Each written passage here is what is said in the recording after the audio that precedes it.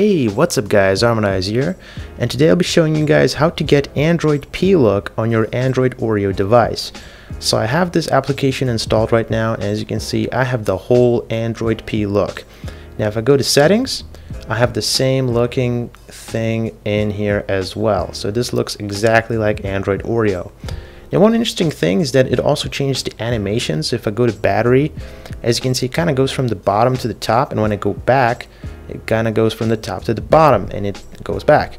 So it kind of looks really nice and I really like it. And um, yeah the way you get this application by the way is from Xposed. So you need to have root as well as Xposed installed on your device. So don't get it from the repository because there is the old version. So the latest version is actually on the forum itself and I'll link it down below. You can just download it via bit.ly link but for this uh, yeah you'll need the, the latest version for it to work properly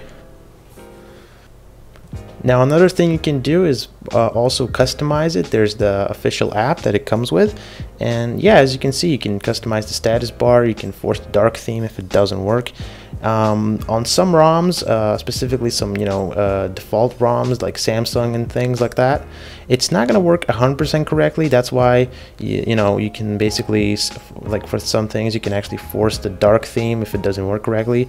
So you can fiddle around, but I must remind you again, you need Oreo. It's not gonna work on Nougat. You can try it, but it's not gonna work. So I'm just gonna save you the trouble of, of trying that. Um, and another thing is that, as you know, just like in Oreo, uh, these accent colors will change depending on what kind of style you have. So if you go to, to settings, go to display, go to advanced, and go to style, if I change this to dark, and then I'm gonna change the accent color to say pumpkin, kind of weird style, but here you go.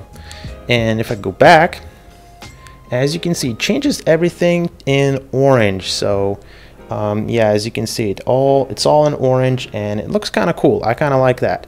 As well as that, it also changes the notifications. As you can see, they have that rounded look, uh, as well as the, you know the whole quick settings also have the rounded look. All right, so that's pretty much it. Hopefully, you guys enjoyed this really quick video, and uh, I'll link everything down below for you download to, for you to download.